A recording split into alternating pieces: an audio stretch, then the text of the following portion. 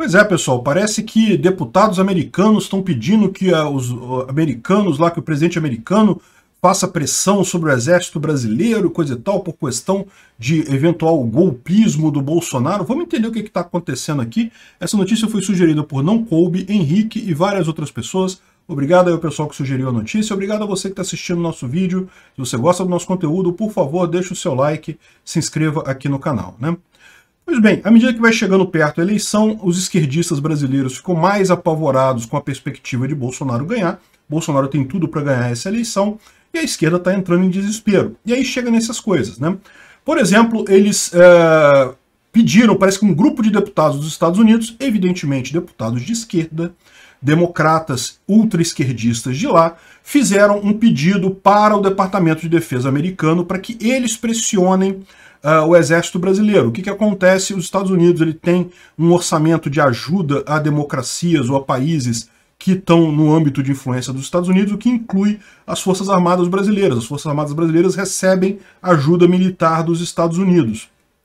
E daí, o que eles querem é que o, o Departamento de Defesa americano corte essa verba em caso de uh, dos militares brasileiros fazerem alguma ação uh, uh, golpista, vamos dizer assim, aqui no Brasil, né? De novo, eu acho isso aqui uma besteira completa, o pessoal tá dando uma visão para esse tipo de coisa muito além do que é. O que é isso daí? Imagina se aqui no Brasil o, uh, o Gazela Saltitante lá, como é que é o nome dele? O Randolph e mais o, algum deputado, o Freixo e o marido da Fátima Bernardes se juntassem e fizessem um pedido para fazer alguma coisa. Você ia levar a sério isso? É lógico que não, a gente sabe que é um bando de socialista que não tem poder nenhum na prática pedindo mais socialismo. Ou seja, no final das contas é isso. Né? O que querem não tem consequência prática nenhuma. Eu já falei esse caso aqui, o pessoal da esquerda aqui no Brasil fica com essa ilusão de que Joe Biden é aliado deles, que Joe Biden vai querer uh, o Lula na, na presidência do Brasil, quando não, meu amigo, é o contrário, é o que eu falo. O Brasil nunca esteve tão próximo dos Estados Unidos como está com o Bolsonaro, mesmo sendo ele presidente aqui e o Biden presidente lá nos Estados Unidos. Não tem essa, não. O Biden não é maluco. Uh, mesmo os democratas lá, ok, vai ter um deputado ou outro democrata que é esquerda o suficiente para achar que Lula seria uma coisa positiva para o Brasil? Lógico que tem, é evidente que tem extremistas lá. É lógico que tenha o Randolph Rodrigues de lá, né?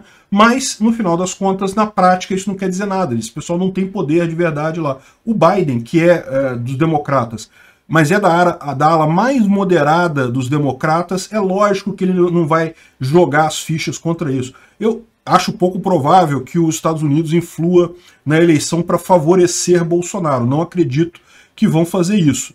Mas eu tenho certeza absoluta que eles estão torcendo para Bolsonaro ganhar, porque eles sabem que Bolsonaro ganhando, bem ou mal, eles continuam aliados aos Estados Unidos. O Brasil continua alinhado com os Estados Unidos. Ao contrário, se Lula ganhar, você pode ter certeza, o Lula já elogiou Putin.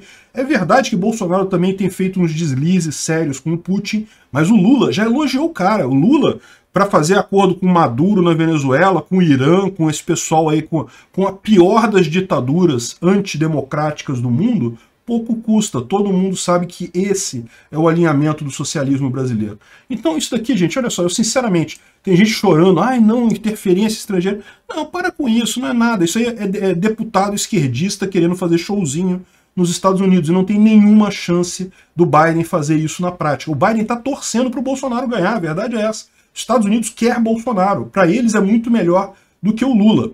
Agora, é, é, não creio que eles vão, ser, vão chegar a ponto de interferir para favorecer Bolsonaro. Não vão, mas também não vão interferir contra. Vão deixar quieto. O problema é de vocês aí se virem aí nessa democracia meio meia boca de vocês aí, né? E uh, o Faquin está dizendo que não, que a eleição corre risco de golpe. É lógico, a esquerda inteira está gritando golpe o tempo todo. Por quê? Porque sabe que vai perder. Então, como sabe que vai perder, quer ficar chorando golpe, golpe, golpe. Vai dizer que lá, ah, não, que o 6 de junho, 6 de janeiro, né? Que foi a invasão do Capitólio lá, que não, que foi um movimento de insurreição e coisa e tal. Sabe que é uma besteira isso daí. Na prática, o pessoal foi protestar lá. Foi um protesto, passaram do limite no protesto? Pode até ser. Mas a verdade é que foi um protesto. Ninguém ali tinha interesse de derrubar o governo, né? Enfim, Uh, de qualquer forma, tá o, o Faquinha já preparando o golpe, porque a verdade é a seguinte, né? Golpe já aconteceu. O golpe foi um momento em que o STF soltou um corrupto condenado e liberou ele contra todas as decisões que eles já tinham tomado antes, liberou ele para concorrer na eleição de 2022. Nesse momento já foi, o golpe já aconteceu já.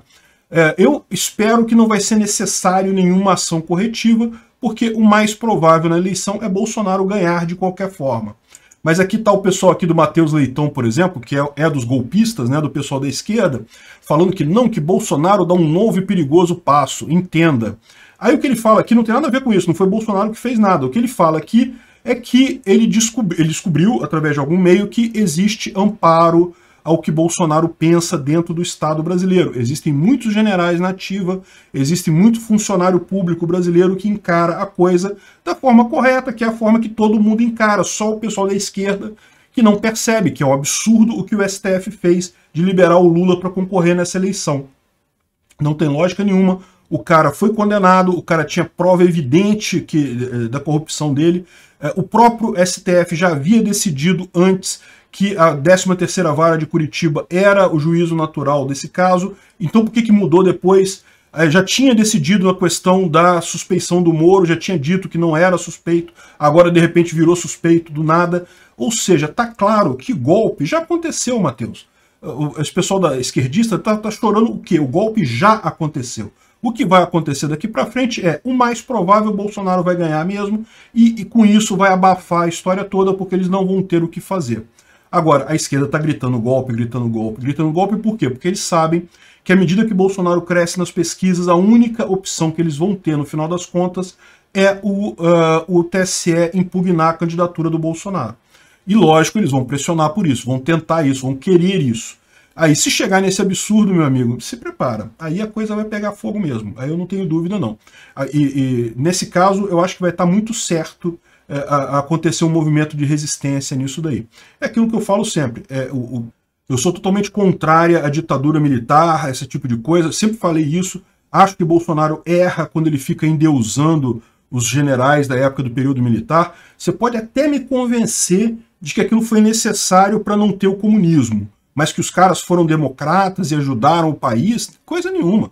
Caras foram socialistas, criaram um monte de estatal, fizeram um monte de merda na economia. Então não, não defendo militar não, tá? Foi um erro o período militar brasileiro.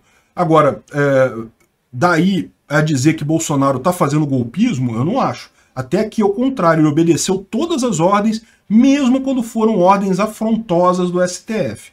Agora, chega um ponto, se chegar neste ponto do STF ou do TSE negar a, a, participação do Bolsonaro na eleição, aí, meu amigo, a coisa realmente saiu fora do controle, né? Aí já estamos em golpe aberto.